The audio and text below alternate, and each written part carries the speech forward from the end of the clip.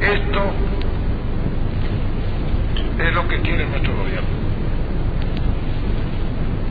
Nuestro gobierno siente la responsabilidad de su función y siente también que en este orden, que es el más importante, tiene mucho que hacer y puede hacer mucho.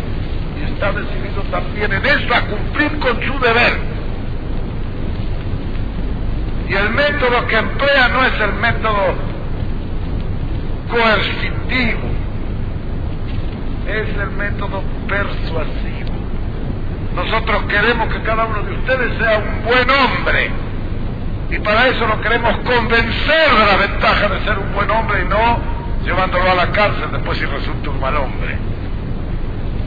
En esto, como se hace con la salud, queremos prevenir para no tener que curar.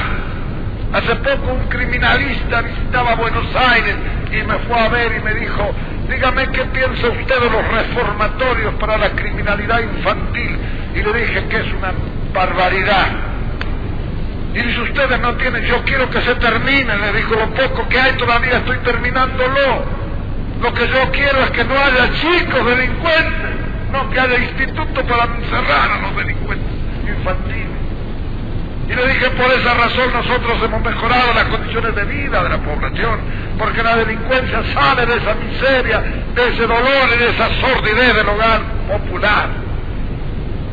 Queremos que el chico tenga su privilegio porque teniendo su privilegio está mejor inclinado a producir buenas acciones y no a desviarse sobre los malos caminos.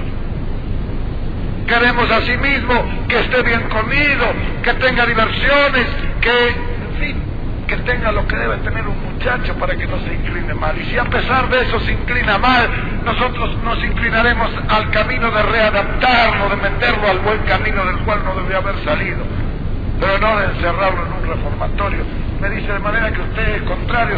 Yo soy contrario a los reformatorios y a todos los que piensan en que el reformatorio puede ser un remedio para la juventud o para los chicos de